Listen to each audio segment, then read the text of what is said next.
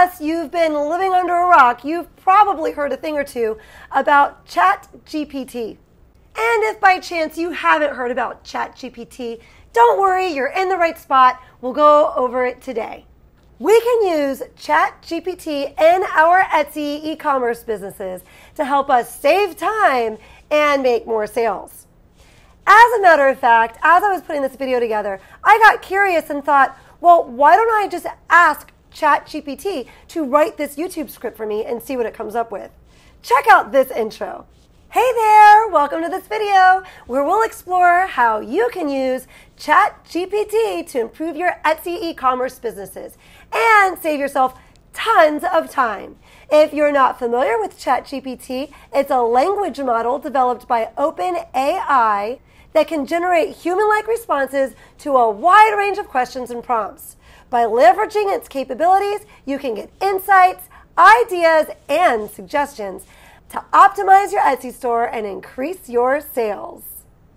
Now, I'm not going to go with the entire script that they came up with for me, but I will come back to it here and there because they did do a really good job of making some interesting points and organizing some of the information in a way that was really smart and clever. We are going to ask it five questions. We'll start with a cool question, and we'll, as we go through the video, we'll get to more complex and interesting questions that I think you'll see how you can really save yourself some serious time when utilizing this. It's simply Shawna here, and if you are a subscriber, I welcome you back, and if you're not a subscriber yet, we hope you'll join our community today.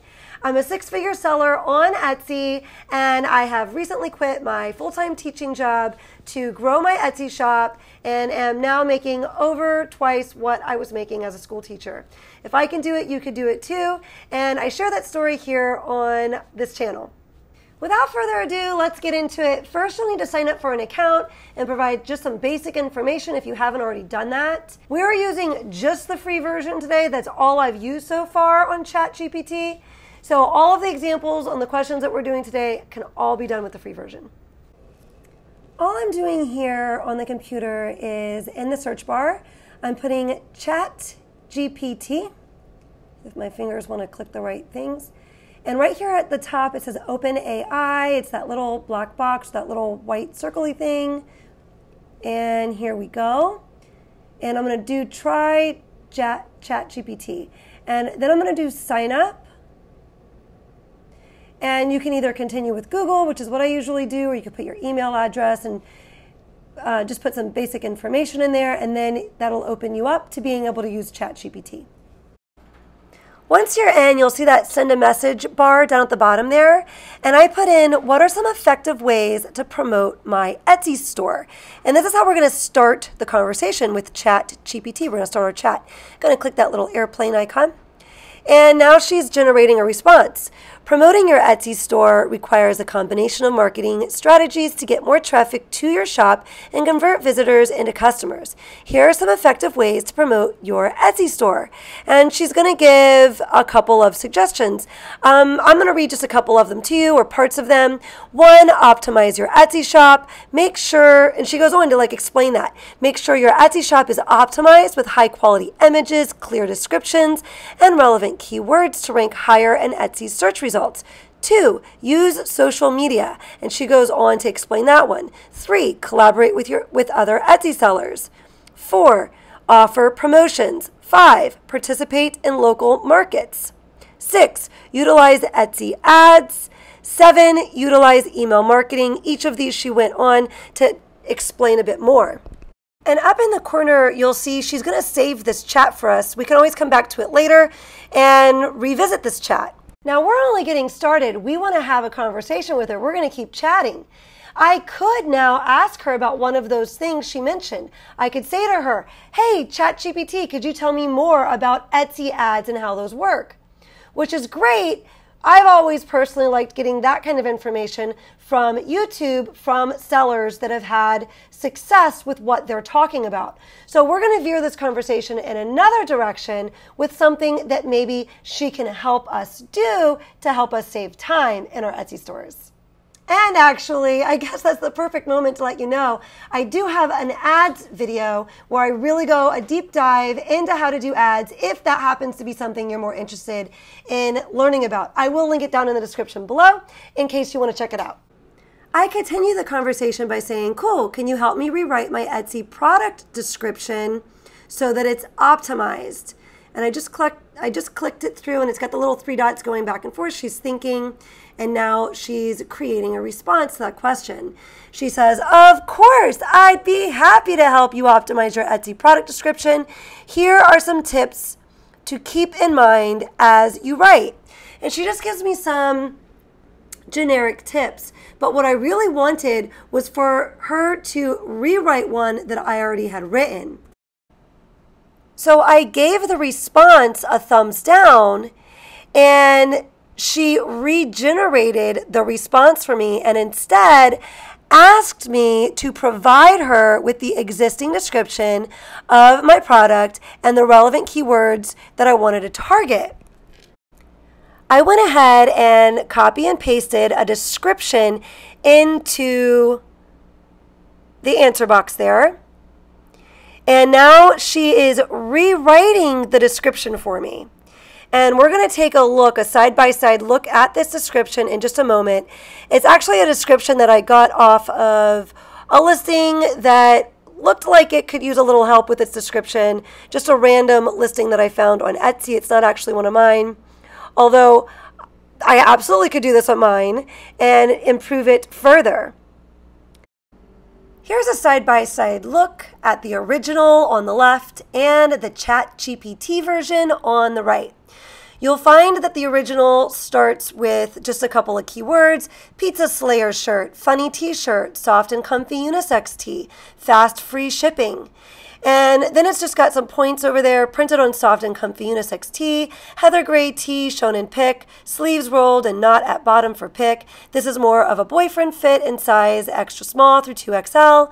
We have received feedback that shirts can that shirts run true to a men's size. With that being said, if you want more of a ladies fit, we suggest going down one size or measure for accuracy. And then they've got a couple of bulleted points there. I won't read them to you, but I'll let you kind of scan them with your eyes. And now let's take a look at how she redid this. Get ready to slay some pizza with this funny Pizza Slayer shirt. Our soft and comfy unisex tee is perfect for anyone who loves pizza and wants to show it off with a touch of humor. This shirt is printed on a high quality 4.2 ounce 100% heirloom combed and ring spun cotton tee that's lightweight and comfortable to wear. The athletic heather color is 9010 heirloom combed and ring spun cotton. It gives it's pulling in some of those specifics from down below. I'd probably take that out. It makes it a little boring. Uh, but it's you're showing how she's taking those statements from the bottom and really connecting it these ideas and sentences. All right, let's skip down to the second paragraph. Our Pizza Slayer shirt features a retail fit with side seams and shoulder to shoulder taping for adding durability. It's a unisex sizing, so keep in mind that it runs true to a men's size. If you want a more fitted look, we suggest going down one size or measuring for accuracy. Please note that the heather gray tee shown in the picture has sleeves rolled and knotted at the bottom for the photo. Order now and enjoy fast free shipping. If you have any questions or concerns, feel free to contact us. Check out our main shop page to see more cool shirts. Now, that's pretty impressive. You could probably imagine, though, the better the description is that we give her, the even more impressive description she can spit back out. Now, I don't know that I would use it exactly the way she's going to give it. Like, as the person that owns our shop and knows some things about our items, we might break it up just a little bit different. Like I'd probably use those, you know, all of that percentage and the weights and all of that. Instead of putting that in a sentence, leave those in bulleted points somewhere in my listing. But the rest of it I thought was absolutely fantastic. The way that she connected her sentences and used those keywords within sentences, which is really what Etsy wants us to be doing anyways in the tops of our descriptions to go along with our SEO or our search engine optimization words. That's really the way we should be doing it. So she is optimizing it and it does look and sound more professional. we're going to jump into question number three. I just put in the search bar down there, can you give me some t-shirt niche ideas that are not saturated on Etsy? And I could probably sit and have a conversation with her about this all afternoon. I've played around with this topic quite a bit with her, and she comes up with some great ideas. So here she says gardening. Well, first she says, sure, here are some niche t shirt ideas that may not be saturated on Etsy. One, gardening. Create t shirts for gardening enthusiasts with slogans and designs related to planting, growing, and nurturing plants. Two, eco friendly. Design t shirts with eco friendly messages and slogans for sustainable living and environmental consciousness. I'm going to just kind of say what each of these are, but just know that she does give uh, kind of an explanation of each. Three, spiritual. And she gives specific examples of that. Four, astronomy. Five, local pride, which I thought was interesting. Create t shirts that showcase the pride of your local town, city, or state with slogans and, slogans and designs related to local landmarks, history, and culture. Six, food and drink. Seven, fitness. Eight, music. And she reminds us at the end remember to conduct some research to ensure that your chosen niche has enough demand and audience to make it worthwhile. Good luck. So we're going to keep this conversation going, and I'm going to ask her to give me some more ideas. So I just said, Can you give me some uh, more ideas? She says, Of course, here are some additional niche t shirt ideas for Etsy. One, animal lovers. Design t shirts with images of animals or slogans promoting animal rights or animal rescue. Two, outdoor adventures. Create t shirts that showcase the beauty of nature or slogans related to outdoor activities such as hiking, camping, or fishing. Now, if I wanted to dig deeper into that one, I could ask her for more examples of outdoor adventures. Now, she goes on to give some other interesting ones here. Three, retro style. Design t shirts with vintage inspired designs or slogans and images from past decades. Four, health and wellness. Create t shirts with messages promoting healthy habits, such as mindfulness, meditation, or yoga. Five, she mentions pulp culture here. Now, here I would be careful. She talks about movies, TV quotes, or, or books. We don't want to infringe or get into a problem with trademarks or copyrights. So this is not an end all be all answer. You do have to kind of pair this with other things that you've learned and things that you know when while you're researching how to conduct your business. So number 6, career or occupation. She mentions occupations such as nursing, teaching, law enforcement. The last suggestion on this list is LGBTQ pride designs. And then she goes on to mention using rainbow colors and messages that promote equality and acceptance. Remember to choose a niche that you are passionate about and have knowledge of. This will make it easier to come up with creative ideas for t shirt designs that resonate with your audience, which is fantastic advice. Thank you, ChatGPT. One of the suggestions she gave was professions. So I asked her to give us some more ideas about professions we could make shirts about. And so she goes on to give us a list dentistry, law enforcement, nursing, hairstylists, engineering, accountants, and real estate. And within each of those, she goes on to give some, you know, pretty good suggestions about making sure that we're including funny phrases and puns.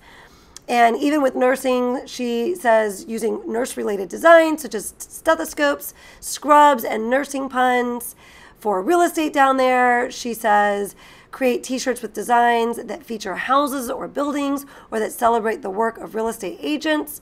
So, all these, these great ideas that she's generating as we're chatting with her. Back to the YouTube script that ChatGPT wrote for us. As you can see, ChatGPT can provide valuable insights and suggestions to help you improve your Etsy business. Of course, it's important to remember that its responses are generated by an AI model and may not always be perfect or applicable to your specific situation. It's also a good idea to use your own judgment and test different strategies to see what works best for you. All right, we're going to keep chatting about ChatGPT. I've got two more questions for you that I think you'll love. But before we do, if you are finding value from this video, please don't forget to go ahead and smash that like button. And also, I would love for you to drop down in the comments and give me a question that you think it would be fun to check out on ChatGPT. You can bet this is how I'm going to be spending the rest of my afternoon. I'm sure some people will come up with some creative ideas that I'll be sitting there doing ChatGPT questions with. And for our fourth type of question that we can use ChatGPT to save us some time is can you give me ideas for funny phrases I can put on a shirt? In this case, I asked for accountant shirts since she mentioned that as one of the professions. So, of these 10 suggestions, I wasn't super impressed. I've done this with other topics and been more more impressed.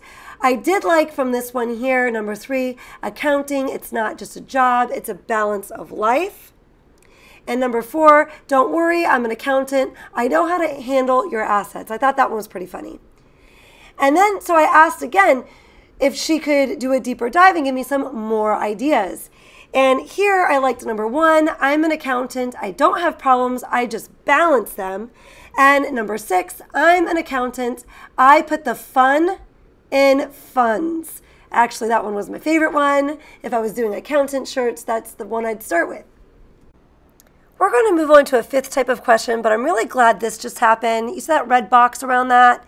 It says something went wrong. I had to refresh the screen to get it working again. And I think this is because we're using the free version of ChatGPT, but when I refreshed, I was good to go. Now I could put my fifth type of question in here, and I ask her to please write a template to send to customers when shipments are delayed. Dear customer, we hope this message finds you well. We are writing to inform you that there has been a delay in the shipment of your order. We sincerely apologize for any inconvenience this may have caused you. We understand how important it is for you to receive your order on time, and we want to assure you that we are doing everything we can to get your order to you as soon as possible. Unfortunately, due to unforeseen circumstances, there has been a delay in the shipping process. Our team is currently working with our shipping partners to resolve the issue and get your order to you as soon as possible. We will keep you updated on the progress of your shipment and let you know as soon as it is on its way. Once again, we apologize for the delay and any inconvenience it may have caused.